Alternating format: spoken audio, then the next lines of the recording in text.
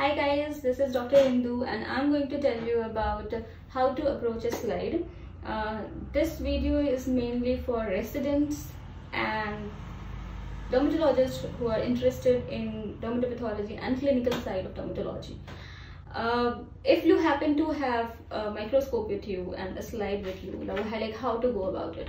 There are four take-home messages to you. The first is um, that uh, when you are uh, doing a biopsy, like for mainly for the residents, you must uh, hand over the report to the patients after you have seen the slide, after it has been reported and you have got the slide back. Uh, that is the only way you're going to learn it and uh, if you're not uh, doing that later on after your residency it's very difficult to you know learn dermatopathology as such Uh, uh, then the second take home message is uh, okay, while you are doing the biopsy you must fill the requisition form. And so it, all the details has to be filled properly. Otherwise you won't be getting a proper report. Now i have a slide. Now i'll tell you how to go about this. So this we start with uh, the scanner view scanner means like here i'm starting with 4x so this is your 4x uh, 10x and in 4x i'm going to see the entire uh, section. Like these are the different sections in my uh, slide if you can make out. Once you're a scanner you are like able to identify the pattern and what is there and from which site it has been taken. Lot of sebaceous glands face uh, the follicle in the subcute uh, uh, scalp mucosa no granular so that way you can make out that which site is there you can make out which pattern is there. Your 70 percent of differentials and diagnosis is made there. So that is the most important thing in reviewing the slide. And that is the drawback in most of the books what we have in dermatopathology. They have the high power highest power clues and all. They don't have this scanner pictures a lot and they are not focused much on the patterns and the scanner pictures. So that is the uh, biggest demerits in our books what I, I have got. Then the fourth point is you have to you know scan all the sections. In the places where you have little bit of confusion that this is there or that is there or uh, some clues you have to look for. Uh, so all the cases you must look all the sections in a slide uh, how you are going to see is on this screen. The problem here is this screen is not showing the entire thing. What i'm seeing here is just reducing it to 50 percent. But what I'm, I'm telling you that i'm seeing the entire section in one.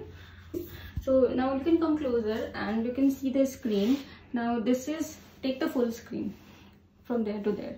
So this is my epidermis.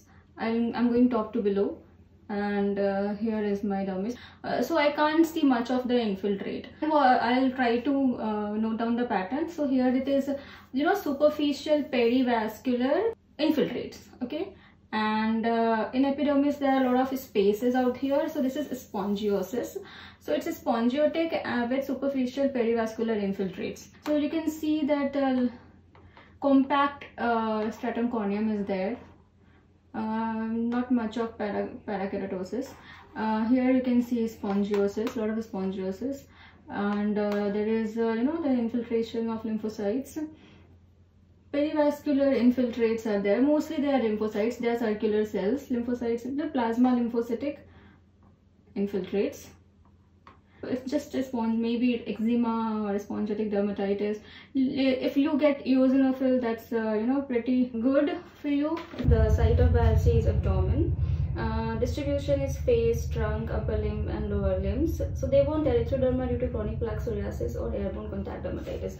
Now seeing this slide, I'll be giving as airborne contact dermatitis or any dermatitic disorders. But uh, when it's erythroderma, it's very difficult to differentiate psoriasis and airborne. So you need to tell them to repeat the biopsy from uh, plaque, you know. So, so that differentiation detail I'm not going into, that's the other topic. Uh, so this is how we approach a slide. Now I will show the other slide.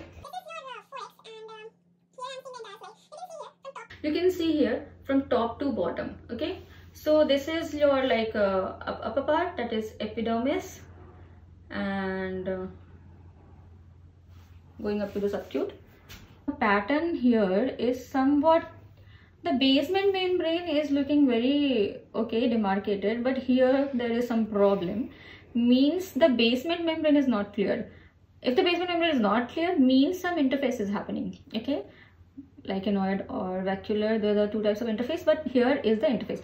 So this slide in the scanner itself i have come to know that is the slide of some interface dermatitis which is the pattern here. I go to the higher power like this is the 10x and i look the area where i found the problem was and that area is here somewhere you know the basement membrane is not clear over here so this is interface dermatitis. Then I'll look at the other parts as well. This is my stratum corneum.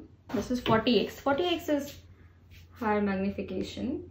And I'll scan the interface now from one end, from one end to the other end.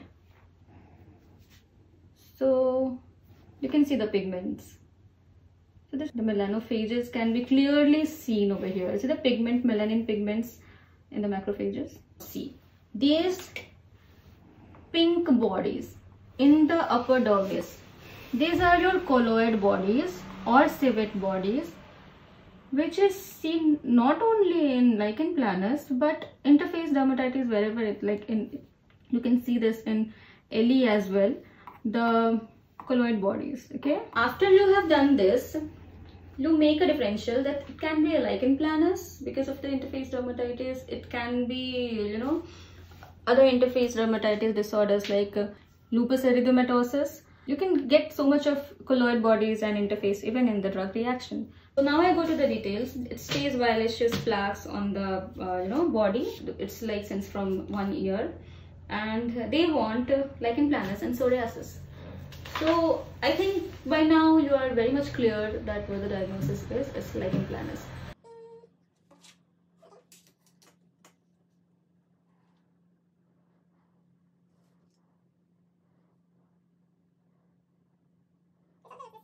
See, we are at the scanner. Again, we are seeing top heavy. This is more like a band like um, covering the entire upper dermis below it's clear. This is the hair follicle over here. And again you know you'll go to the higher part. You know that you have to scan the basal layer again from one end to other end. The basement me membrane is totally gone over here. And uh, also in the epidermis there is in the follicle there is perifollicular infiltrate and all so I go at the higher part at the same area. And I can see the interface. So it's very simple. I'm telling you once you are in the habit of you know you visualizing the slides you become very much pro at least in the uh, common cases. That is why I'm taking the common cases over here. Now this is another uh, this is the another slide for uh, the fourth take home message uh, this is uh, the upper part, the laminated uh, stratum corneum, the hyperplastic pseudoepitheliomatous epidermis and infiltrates are going again deep like superficial dense and nodular deep granulomatous pink uh, uh, center surrounded by blue area. Again here pink center surrounded by the giant cells are visible. So uh, it's a granulomatous uh, superficial and deep nodular infiltrate pattern. Make out that there are mixed infiltrates. It's a suppurative granulomatous disorder.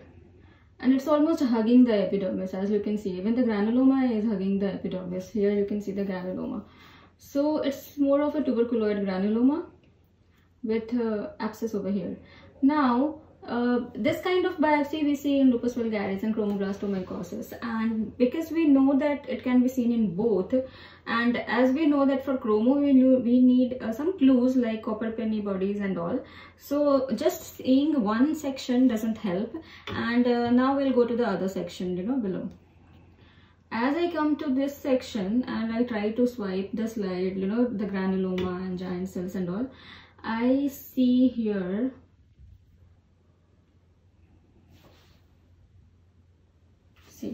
there is this copper penny body which is bilobed and it's not that uh, brown color but uh, yes it's seen here.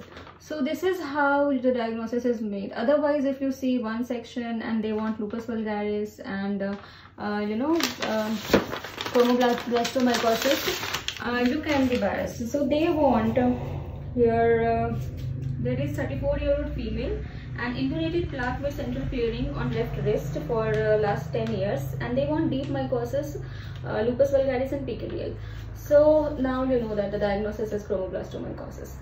Once you are clear in your ideas that how you have to approach them, you can at least um, learn dermatopathology retrospectively from the slides because slides are the biggest uh, things that are going to teach you. Because every slide is different. The pathognomic thing what you see in the books you're not going to get that in all the slides. You are very much lucky nowadays that you have so many platforms where you can learn. So if you are a resident and you're doing the biopsy just try to be in the contact with a dermatologist and, and and be in the habit of discussing the case with him or her. They're always there to help you. If you have some doubt if you have some query that why it is this and why it is not or for academic purpose so you can always go for that. So uh, you have books with you you have the slide patient everything. So that is the best time you can learn it. So these are my take, four take home messages for today. So stay tuned. Thank you. Bye bye